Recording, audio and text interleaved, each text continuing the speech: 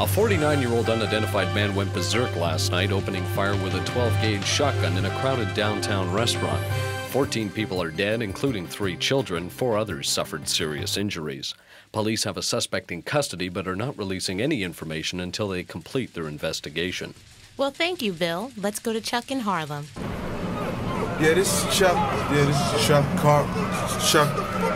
Chuck Scarborough.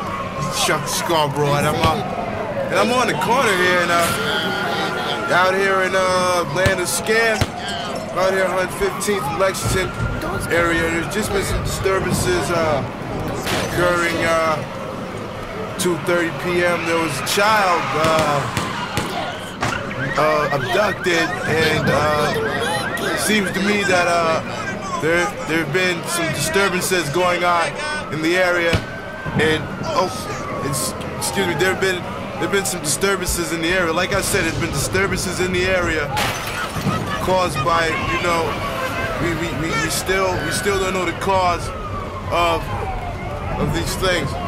We'll, we'll find out at 11. Back to you. Well, thank you, Chuck. Tune in at 11. We'll have that, and we'll also have an update on the G. Dep story, where we ask the question why doesn't anyone come home from the danger zone?